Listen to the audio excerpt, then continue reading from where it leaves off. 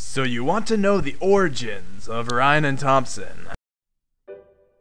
So sit back, relax, and enjoy Ryan and Thompson video blog number 7. Thompson grew up in Dallas, Texas, in a small three bedroom house with his family. They led a quiet life, a simple life.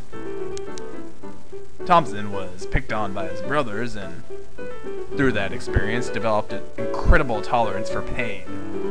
Some might call him a glutton for punishment. Some might call him weird for.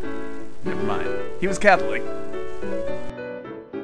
Ryan grew up in this nice house, then moved out um, to a different house, grew up some there, and just recently moved back into this house.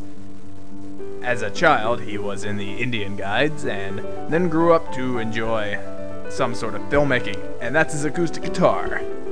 He plays it sometimes. Anyway, he had a passion for filmmaking and has is now the prop master for MRI Productions, storing all of our props. Bishop Lynch High School. The meeting place of Ryan and Thompson. If you want to get technical about it, they met each other like seven years before in Cub Scouts, but that's not important.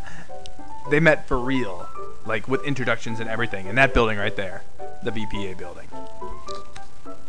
Fun times were had there. Many times they traversed these hallways, and many stories have unfolded. Many stories have yet to unfold, but those stories are no longer Ryan Thompson's. For copyright reasons, they're not important anymore. What is important is room 132, Mr. Inman's room. That's that guy, right there. He had the Julius Caesar project, which was to make a film based on Julius Caesar. Ryan and Thompson made individual films, but two years later, they would collaborate on Thompson's senior English project, a movie based on the book, The World According to Garp, but remade as a spy movie. It was very exciting. I hope this has given you some insight as to the origins of Ryan and Thompson. For more information, check the Wikipedia. this is the worst video we've made yet. Why did you make me talk in that stupid voice the entire time? This is my only line of dialogue.